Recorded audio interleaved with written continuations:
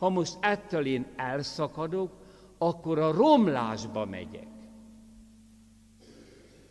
Magamat rontom le.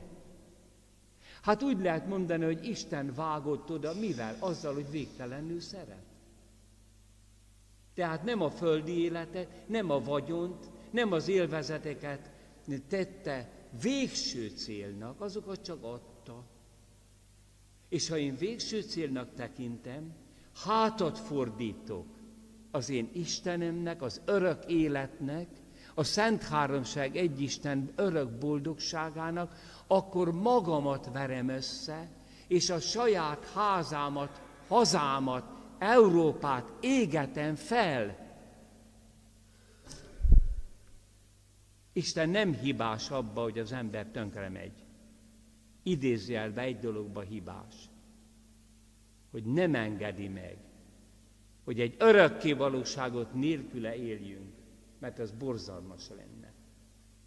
Önmagát jelölte ki, a végtelen szeretetét föltárta, és ha én ennek hátat fordítok, ha menekülök ettől a szeretettől, akkor az úgy néz ki, mert végül is tönkre megy az ember ebben a menekülésben. Nézd meg.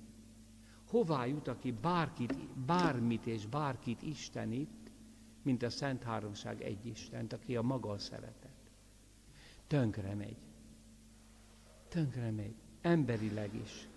Bálvány Isten csinál abból, hogy az élvezeketek hajhásza a mammonból, a pénzből, a hatalommániás lesz, kábítószeres lesz, és ezek a bálványistenek teljesen lerontják. Nem az igaz Isten veri őket össze, hanem magukat verik össze. Kedves testvéreim, ez a hátatfordítás a meghívásnak, ez az embernek a, ez a menekülés, ez a futás az isteni meghívás elől, ez maga a romlás.